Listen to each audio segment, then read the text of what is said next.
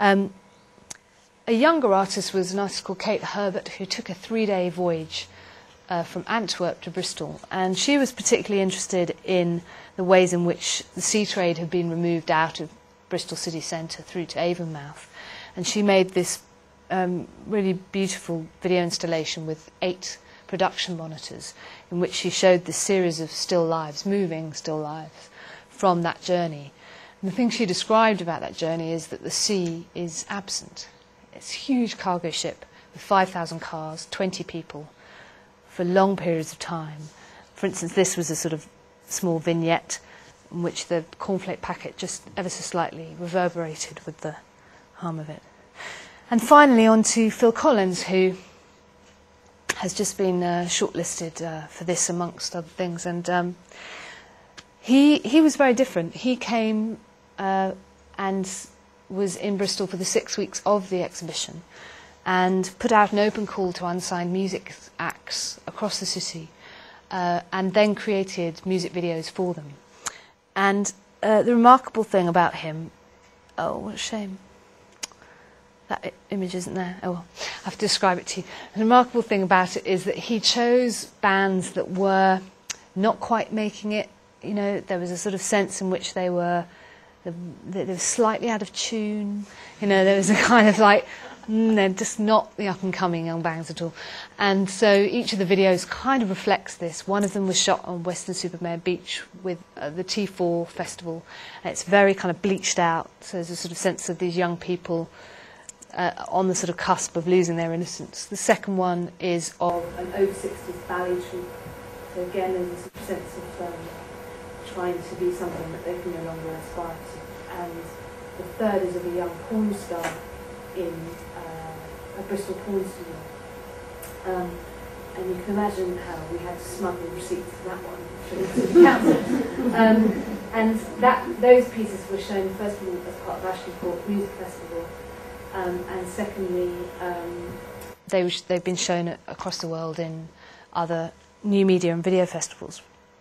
Ultimately, as a viewer, you are at that point at which you're not sure whether the participants are being exploited. You know, this is the artist who did, probably all know, but did the eight-hour disco marathon, you know, in Ramallah, uh, where where these young kids are dancing for eight, whoops, for eight hours, um, and you know, in his work, you're, you're, you're caught at a point at which you don't know whether you're, what you're watching is exploitation or because it's so exuberant and so, um, you know, kind of wills you into being involved with it and it's, you know, the music's so fantastic. Same with these. You're watching, I wish I had it for you, sorry, but uh, you're watching, you know, an over 60s ballet troupe and they're absolutely beautiful. They're fantastic, you know, and they're doing these formations and the music's incredibly sort of sad and it's it's a wonderful work, but at the same time, you're you also catch yourself laughing because they're over sixty and they're trying to get their legs up next to their ears, you know. So, it, it, yeah, that, you know, that thing about the audience being uncomfortable, I yeah, really important. Yeah, yeah. So, what was this exhibition? You know, what what occurred? What worked? There were some works that were more resolved than others. Uh, it had a wide-scale audience um, response. We had invigilators in every site who talked about the work, education projects, all the rest of it. But you know, what was this exhibition? What was thinking of the outside? I'm sure lots of people have opinions on, on what occurred, but because it was all commissioned, I think what struck me was that it was very melancholic. There was a real sort of sense across all of the six commissions that um, there was a kind of aspiration to something that was never quite achieved, whether it be um, in Phil Collins' work or within Nathan Coley's work. There was a sense of um, an encroaching kind of uh, resistance to stereotype or it, that emerged through Susan Hiller's work, and a sense of isolation and loneliness, which emerged through Silke's work and through Kathleen Herbert's work. And because a lot of the work was shown in disused buildings, I think that it, you know really kind of impinged on it in some ways. So, finally, I just wanted to read to you um, this this quote from Susan Hiller, which is in the book, um, which just says something about how artists are asked to, invited to work in these ways. And this is a still from one of her videos. She says the aim of art is not simply to communicate something that has already been formulated, but to create something unexpected. One of the reasons why artists make their work is in order to take themselves by surprise, to discover something other than a reflection of their own intention.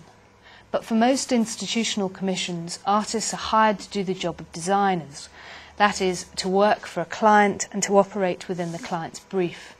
As time goes on, I find myself more and more resistant to working within these constraints, even though as time goes on, there are more and more opportunities to work to institutional briefs. The flawed romantic idea of self expression seems, in contrast to the institutional model, to allow for, or indeed to insist on, the artist's own ethical responsibility toward enlarging or redefining what is already known and in place at the start of the project. However skillful and experienced the artist is, he or she is sometimes deliberately interested in exploring at the edge of their control. Thank you.